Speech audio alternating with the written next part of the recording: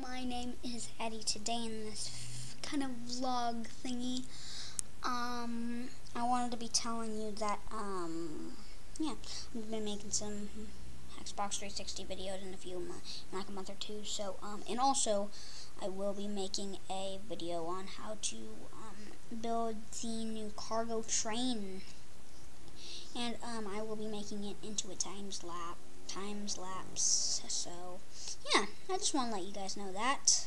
Um, I'm sorry that it's so staticky. I'll get that figured out and over with in a few minutes. But, um, yeah, tell me down in the comments below um, how to fix this statickiness because it was never like this before my mom fixed my Android. Um, sorry about that, guys. Just trying to test something. but anyways, um, yeah.